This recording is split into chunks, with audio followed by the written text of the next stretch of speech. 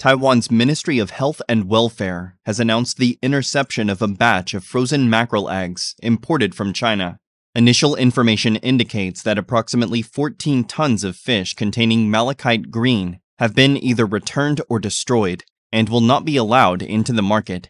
In addition to blocking these 14 tons of fish from China, Taiwan's Food and Drug Administration has also released the latest list of substandard products intercepted at the border.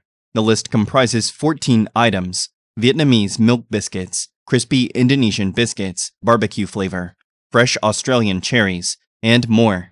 Most intercepted products contained pesticides, harmful chemicals, or other substandard elements.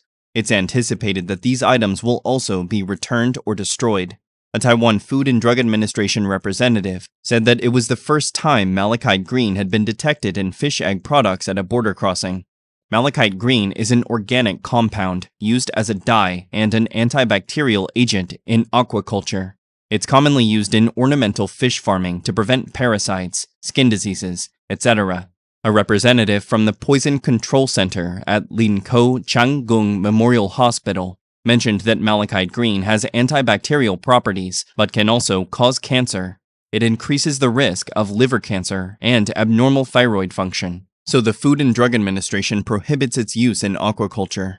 The presence of this chemical in the mackerel eggs is being investigated to determine the cause.